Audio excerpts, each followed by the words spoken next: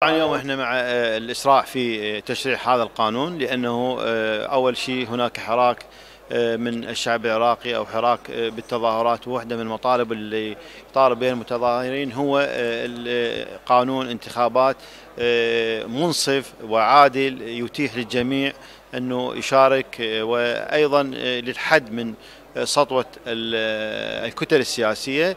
وأيضا هناك أيضا ضغط آخر من قبل المرجعية التي شددت في خطبة الجمعة الماضية أنه الإسراع في تشريح هذا القانون.